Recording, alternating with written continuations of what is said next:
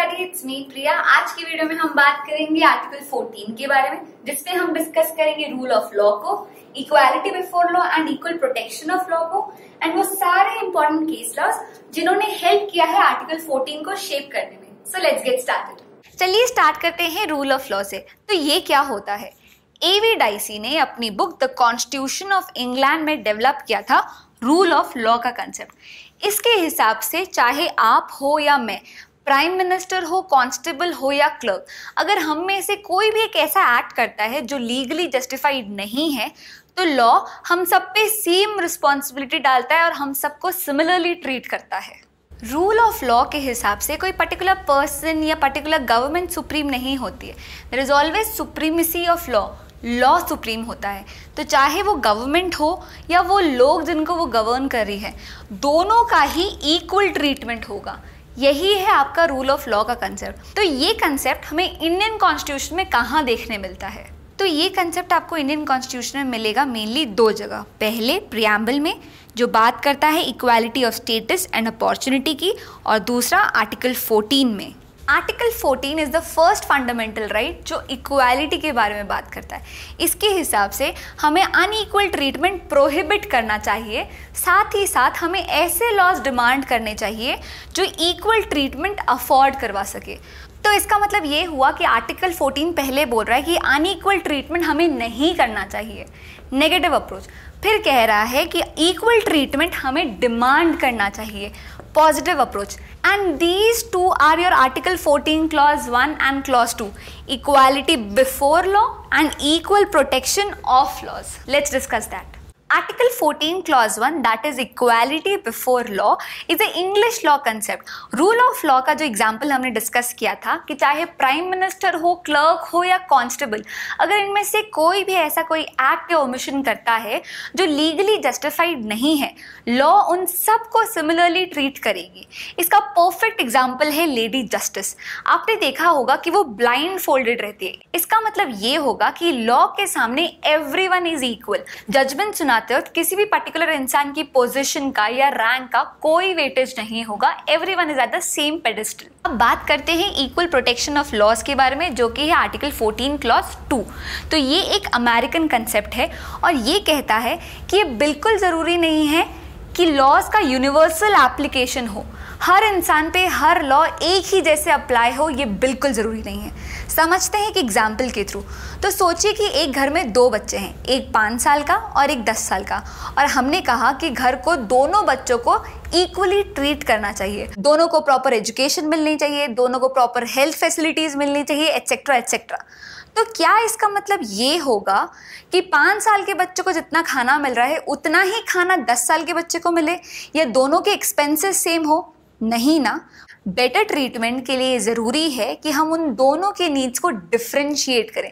उन दोनों के नीड्स को क्लासिफाई करें। यही है इक्वल प्रोटेक्शन ऑफ़ लॉज ये कहता है कि अगर दो लोग जो इक्वल नहीं हैं, जो अनइक्वल सिचुएशन में हैं, उन पे एप्लीकेबल लॉज भी डिफरेंट हो।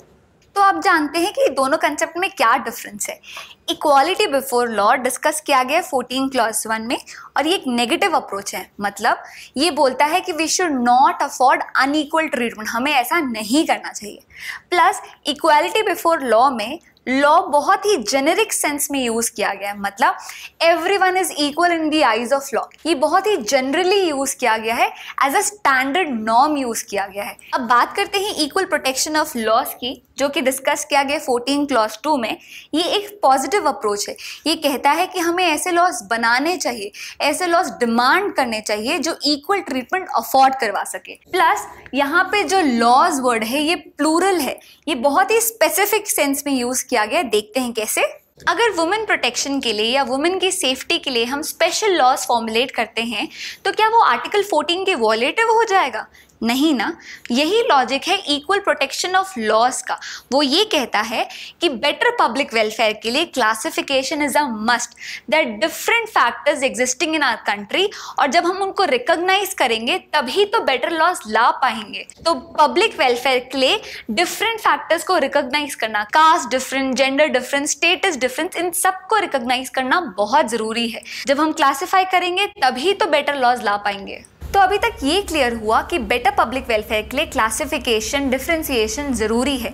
अगर मैं एक पाँच साल के बच्चे को दस साल के बच्चे से डिफ्रेंशिएट कर रही हूँ तो ये दोनों के लिए बेहतर होगा। इसी क्लासिफिकेशन को अनड्यू एडवांटेज से बचाने के लिए we have formulated a test जो कि डेवलप हुआ था state of Bombay versus F N Balsara के केस में।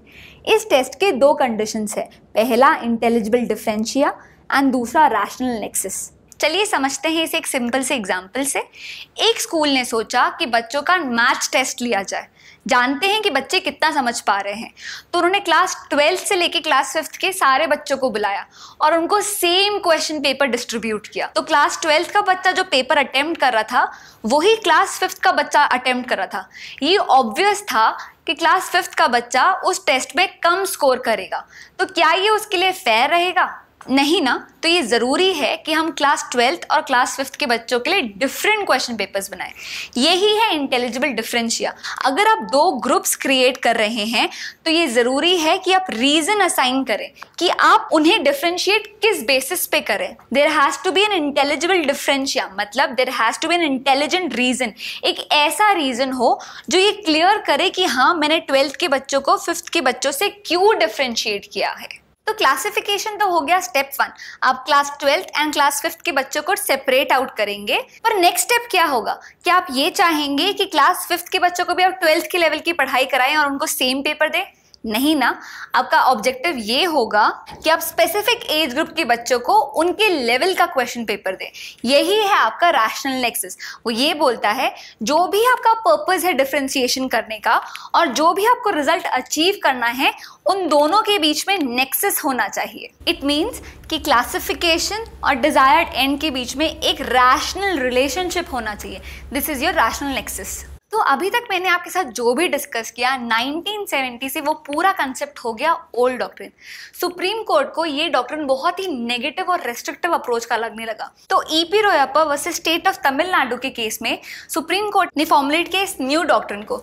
इस रीजन के साथ कि इक्वालिटी एक बहुत ही डायनेमिक कंसेप्ट है. चेंजिंग टाइम के साथ सोसाइटी की नीड्स चेंज होते जाएँगी. पब्लिक वेलफेयर के मायने चेंज होते जाएँगे. अगर कोई भी एक्ट से वो टेस्ट क्वालिफाई कर रहा है तो हम ये नहीं बोल सकते सकते कि हाँ वो इक्वालिटी का टेस्ट भी क्वालिफाई कर रहा है। ये जो न्यू डॉक्टर था, ये बहुत ही डायनेमिक एंड एक्टिविस्ट नेचर का था। उन्होंने कहा इक्वालिटी बिफोर लॉ का मतलब सिर्फ़ रूल ऑफ़ लॉ नहीं होगा. न्यू डॉक्ट्रिन ने इक्वालिटी बिफोर लॉ का स्कोप एक्सपांड करते हुए कहा कि equality before law will include the principles of natural justice यही व्यू अडॉप्ट हुआ था मेनका गांधी के केस में और उन्होंने कहा आर्टिकल 14 का सोल मकसद यही है कि वो स्टेट एक्शन से आर्बिट्ररी स्ट्राइक आउट कर सके। स्टेट का कोई भी एक्शन आर्बिट्ररी नहीं हो।